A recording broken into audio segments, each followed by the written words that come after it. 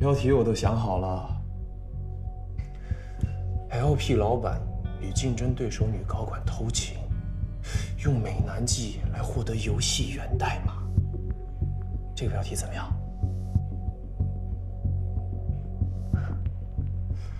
徐丽娜是千万粉丝的网红，你知道吧？如果用她的抖音账号发布这条视频来控诉我出轨朱韵，你觉得朱云会怎么样？那个词叫什么来着？哦，社会性死亡。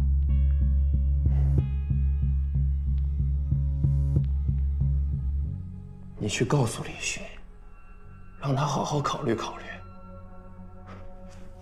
我高建宏都要死的人了，我根本就不在乎什么仇。可朱韵呢？他舍得让朱韵的名声扫地吗？嗯？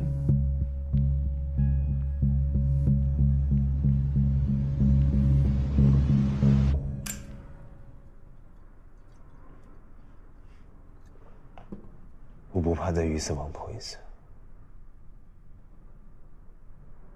打倒我多少次，我都能再站起来。可他不行。我一直想征服自己的命运。我一直以为这是我想追求的。不是吗？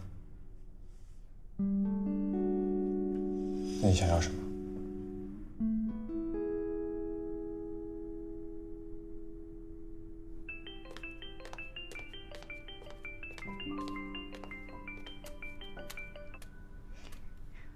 喂，苗苗。定撤诉了。什么时候啊？刚刚的事儿。这么突然，条件谈好了？朱韵，你要挺住啊！我发你段视频。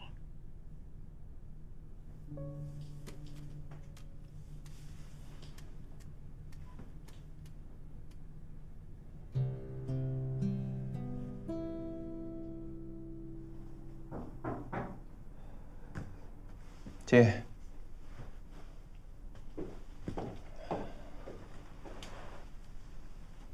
高总，宣传部、公关部还有市场部的主管都提出离职了。同一天提离职，不就是为了打我的脸吗？没事儿，随他们去。东亮，开发部要管好，几个骨干不能丢。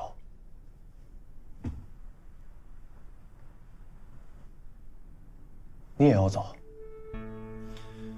高总，我从一毕业就跟着您了。以前您抄袭打压那些小公司，我都告诉自己，这个世界就是这样的，弱肉强食没有什么不对的。但现在我觉得您太极端了。说的真好听啊！什么叫现在你觉得？不就是公司被告了吗？你们害怕了，想跑了。真要是这么有道德的话，公司赚钱的时候为什么不走？不就是看公司上不了市，没利可图了吗？现在，一个个良心发现了，啊？走，都走，所有人都走，我不需要你们。李寻可以单枪匹马的上山，我高建宏也可以。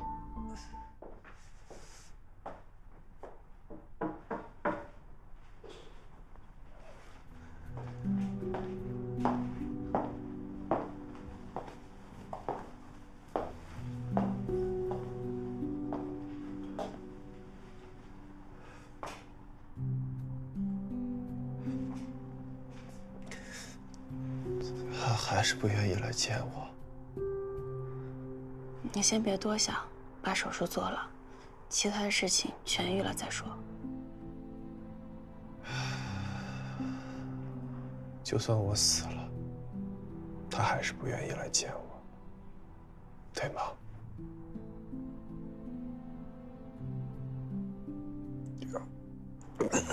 宝刚怎么了？我去叫医生。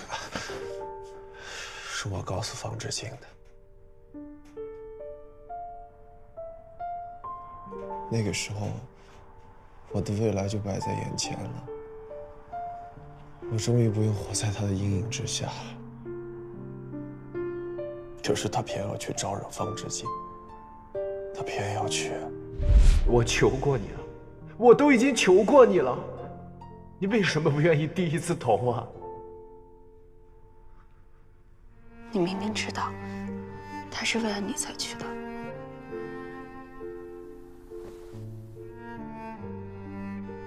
我知道，我都知道。可那天方志静来找我，我太生气了，我恨他，恨得只想毁掉他。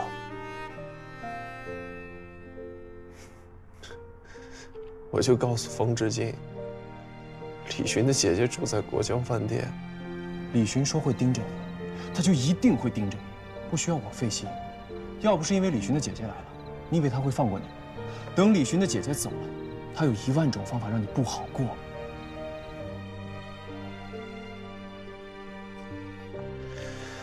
我只是想教训一下李寻，我没想到事情会是这样，我也没想到李兰会死。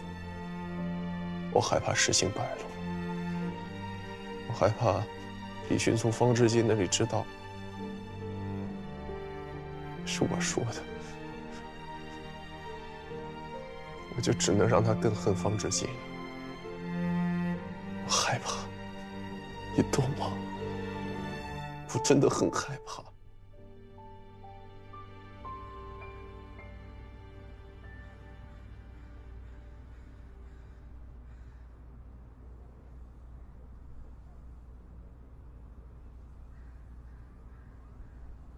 这件事情，我一直想忘，但怎么也都忘不掉。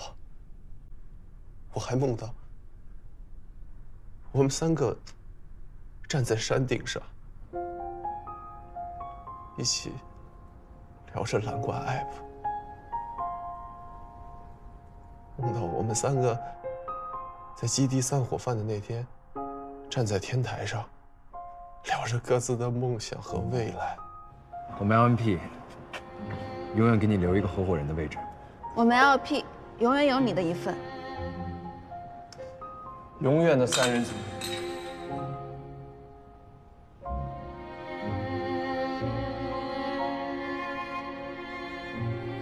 那个时候的我们